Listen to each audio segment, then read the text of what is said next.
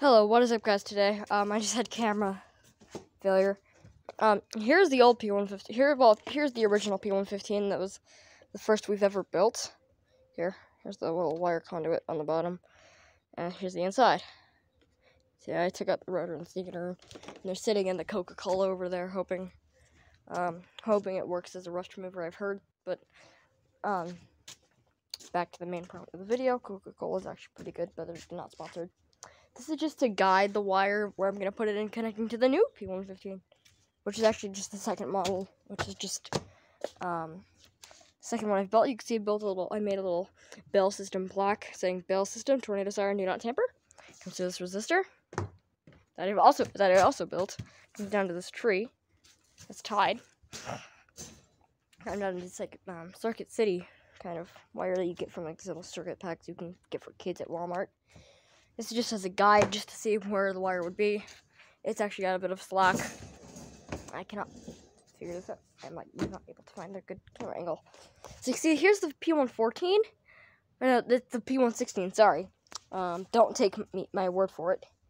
Don't take my word for it. Um, here's the P116. Uh, it's fine. It works. I'm not gonna test it because you don't test it. Here's another resistor um, here's that control. But alrighty, in one minute and thirty seconds in, here's the P115. Other than the other ones on the ground right there because well, that one, the first person who buys my merch, which it will, I'll start selling at a thousand subscribers. Um, the, my my limited edition GTH hoodie. Whoever the first person who buy one who buys one will get a mini 3D printed P115 as just a reward with it. Well, actually, no, the first 10 people who buy them. And then there will be a yearly sale of the 3D printed ones, too. So here's the P115. I haven't actually put the center air intake tube in there yet. Came with it.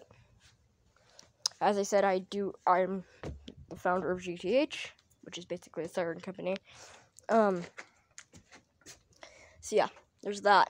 Um, I can actually take it down. I will be be a couple seconds because I actually haven't actually bolted in, in yet with those bolts down there yet. I haven't done it yet, so yeah, I'll take it down so I can show you. Okay, I'm back. So there's paper towels back here that I used to scrape off some rust off of that grate. It's supposed to be up there holding the siren. Um, here's the mounting bracket. Um, I guess. And then here's the rotator. Rotator, which actually you can see there's nothing in there because the rotator is supposed to just be sound propelled so the faster the oh hi mascot. Um he's just the mascot. So the sound and the vibration of the siren does move it. I have tested that. Not reliable but this is just the temporary base I made here. Yeah. this is just supposed to screw onto a little bottle right here. Slides inside the pole until we get that. I can actually screw it into that. Um, compared to the, compared to the P115 um, dash one, just check this out. Compared to the 15 P115 slash, I believe, I think this one's 20 horsepower. The P115 slash 20 compared to the P115 130, you can really see the size difference. I'll lay them side by side here. See what I mean? Pretty close to size, but that my hand here, almost this thing's about like a foot. This is like a a foot rotor. Well, the rotor's not a foot, but the the horn is a foot. Compared to this one, it's actually only six inches. It's also really bendy. Um, for some reason, it's kind of bendy. Um, here's the intake tube, which for this one, I don't have it in there yet. Where that little circle is, is where it's going to be glued in. Um, this one would be about a two inch compared to this one being half inch. Here's this little conduit, which is universal for both. It's universal to both. Um, just I haven't plugged it in yet because well the mounting bracket's in the way. Um, but I have to move that. But um, you can see this actually I had to tape it together because this one actually started going crazy. Um, and had it together because it's already going crazy, yeah. And yeah, See, there is a little bit of glue from the original. The original, but you can see that's some yellow glue. Did I not zoom out? Oh, no, it's still, it's fine.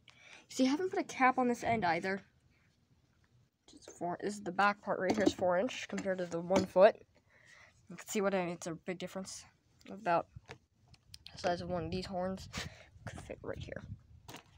And just to prove that this one right here is smaller than this one, I will put it up like this, which it's actually kind of cool. It looks like a toilet.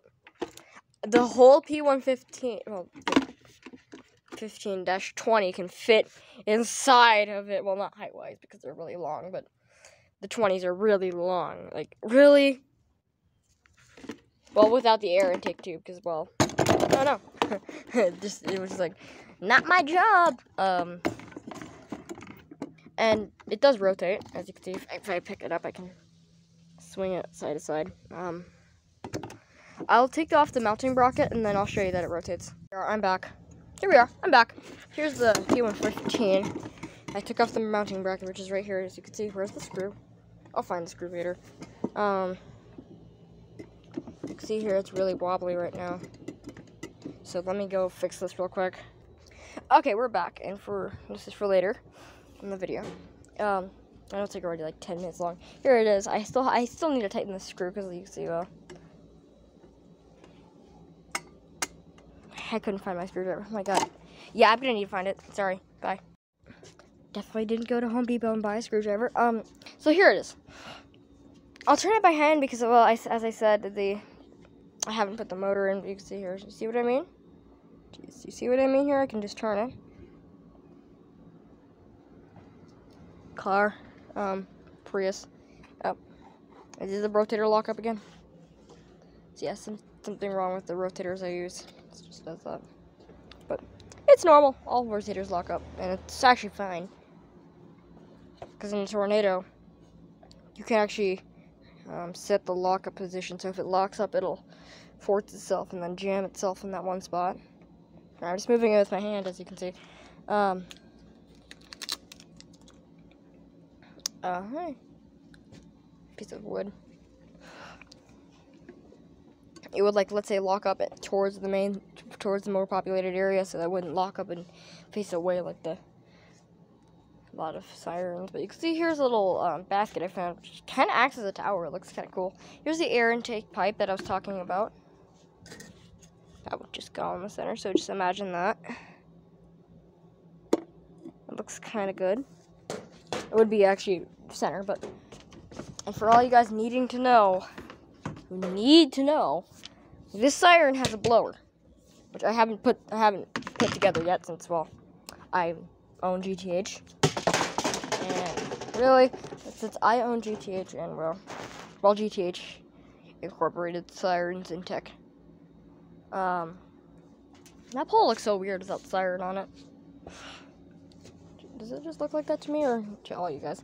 Um, so yeah haven't designed it yet, but I will put a post out when, like a picture of it and a picture of the diagram of it, and how it works. So yeah, please like and subscribe. Goodbye.